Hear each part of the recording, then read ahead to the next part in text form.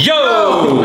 Živijo folk, kako Živijo. ste kaj. Ja, ste Evo, mi to se nazaj po dolgem času, malo Ja. so pa odsotna. Dolg časa je bilo, ja. Kaj so delala? ja. Jaz vem, da sem praznoval letos, rojstni dan, 30. 30 oba sta bila 30, a si dobil kakšen uh, un, vozi počasi, 30?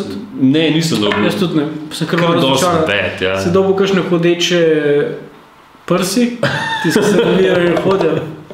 Vem, da si ful seznanjen z Ja, temi... pričakoval sem, gledal sem, ufa, pa mi je vse kupil, nič. Se pravi, si imel bilo- mlaj, Mlaj, nisem imel tudi mlaj. ne. Mislim, ponovadi odgovornost prijatelja. Je bila harmonika? Stavijo mlaj. je bila harmonika? Ni je bilo. Ni bilo harmonike. Totalno neortodoksno se zgleda da praznovala. Upam, Ja. Da bo 40 boljš. Jaz res polagam na frende. Ja, jaz tudi na tem, mislim, sem, v bistvu sem zdaj postal razočaran, Ja. ker vidim, da so neki običaji, ki Ja. A si enostavno bil, nisi a si bil mrtev pijan? Ne, Jaz ne sploh mrtev, jaz sploh ne vem, če sem pil alkohol.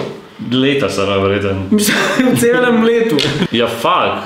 Dajte samo v komentar napisati tisti, ki to ste, ki ste praznovali 30. Ko, ja, če je to normalen, pa kako ste jo vi praznovali, mm. pač bolj normalno, se pravi, mlaj. Mogoče nam a, ta forum over.net lahko da kakšne odgovore. Mislim, tukaj, da. tukaj smo na random malo poklikali nekaj, kar se nam je zdelo zanimivo. Mm. -hmm. In evo, dajmo se poglobiti kar mogoče v tega. Si za poglobitev? Ja. Slišiš, da? Um, kliknila sva na enega od random.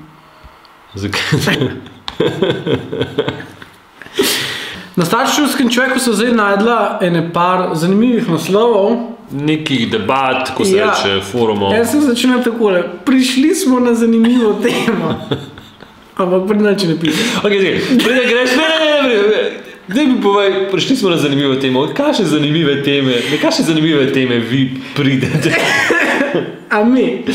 Vi, pač Ja. vi. Komu zdaj ta radovednica 92 to razlaga? Evo, prišli smo na zanimivo temo.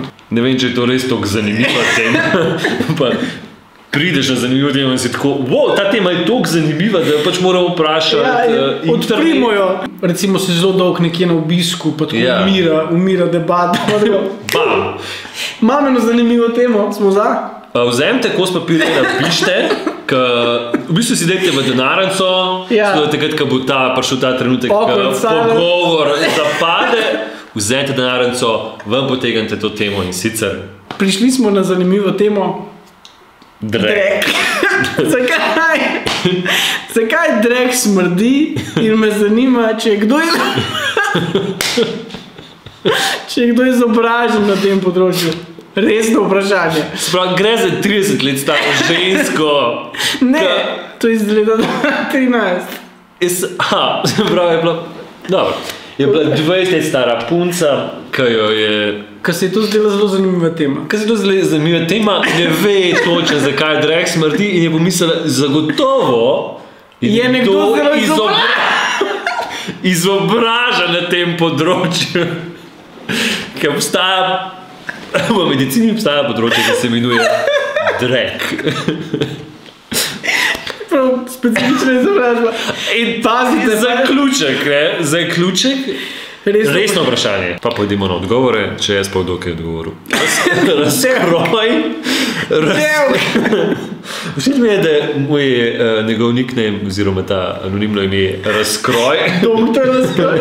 Mislim, da če je kdo, če je kdo izobražen na področju dreka, je nekdo, ki se piše razkroj. Tako da, sorry. Del.